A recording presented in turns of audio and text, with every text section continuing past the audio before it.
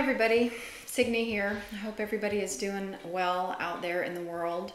Um, this video probably won't come out for maybe three or four weeks from from the time that I've shot it. So at this point, who knows what on earth could have gone on at this point in this year. Um, murder hornets or, um, you know, who, who knows? Who knows? Who knows what's going on? Um, but so I've been doing this little series over the last couple weeks where I um, give you kind of like a little sneak peek inside um, some things that I know about some of my art fair fellows. Um, one of my favorite things about going to the art fairs is getting to know the artists in person, um, getting to have interaction with them that uh, informs my understanding of them and their work. And I think that here in the shutdown, that's a thing that we're kind of lacking. Like we get to see what people are making, we can go on their their website, we can see their CV, but we're really lacking that like human connection that you get to have with people um, at the festivals, which again, one of my favorite things about getting to uh, show my work, show our work in that way. Um, so, who I want to introduce you today uh, to is a good friend of ours who's actually uh, also local to Greenville. His name is Joseph Bradley, Joey Bradley. And again, I don't want to say a ton about his work. I'm just going to tell you a little bit more about what I know about Joey as a person. I will say a tiny bit about his work. I will say that um, Joey is an incredibly gifted uh, draftsman. Uh, and he makes these wonderful paintings. Um, his most recent series are mostly of um, wildlife, and to me, they have um, a sensibility almost like they are illustrations of a parable, perhaps. So they have they're they're of nature, but they're of a highly like symbolic quality. Um, one of my favorite things about his work is that a lot of it has quite a sense of humor. Um, I have a little piece over my shoulder that we traded for at a show this past year. And I love like the look on this owl's face. Like every single time I look at it, it makes me laugh. Um, so kind of like anthropomorphic um, animal characters. So anyway, that's enough about Joey's work. You can go out and take a look at it yourself. But so I wanted to tell you a couple things about Joey that you might not know just from reading his CV or taking a look at his website.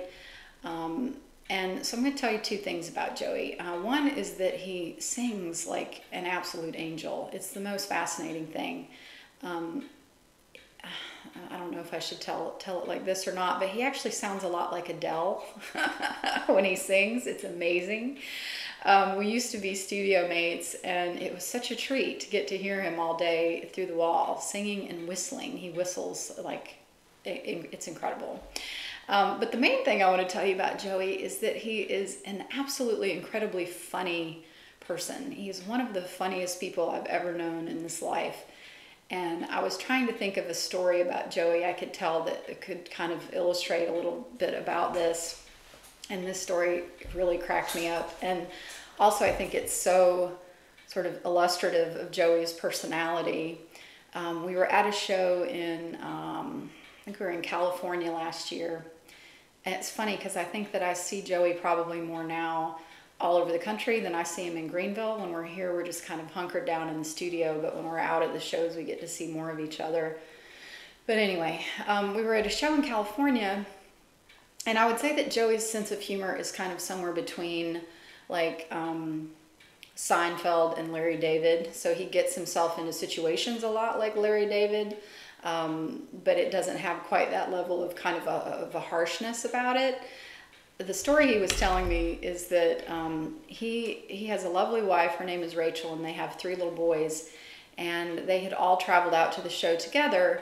And then um, I think it was I think it was on the way there to California. His oldest son had been separated from them and was sitting with other people on the airplane and so he could tell that on the flight, like his son was talking really intently with the person next to him, like the whole time they were having this very animated conversation.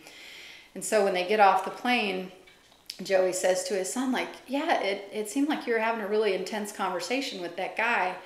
And his son said, yeah, you know how when um, you say some, somebody asks you something and you answer and then you realize like you really gave the wrong answer but it's like too late And Joey was like, Well, what did you say to him?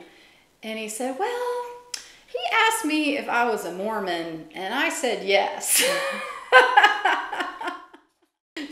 basically, he had to have like two hours of conversation about his Mormonism on this plane. And that is that story somehow so sums up Joey. I can't even tell you, even though it didn't actually happen to Joey, but Joey likes to get himself into situations like that. So, anyway, runs in the family. Um, but anyhow, that's my little story about Joey. Um, if you want to go and take a look at his work, again, um, josephbradleystudio.com and uh, Instagram at Joseph Bradley Studio. And uh, anyway, we love you guys and we hope you're well. Take care. Bye bye.